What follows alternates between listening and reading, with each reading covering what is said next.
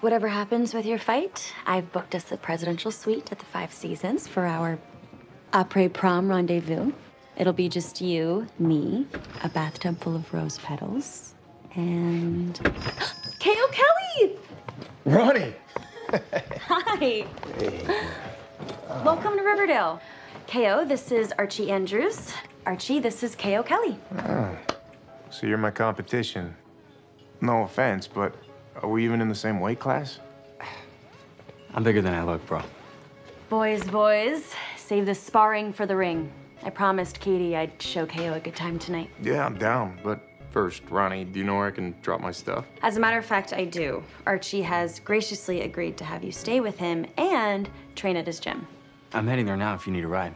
All right. Play nice, boys. Well, well, well. Never thought I'd see you two again.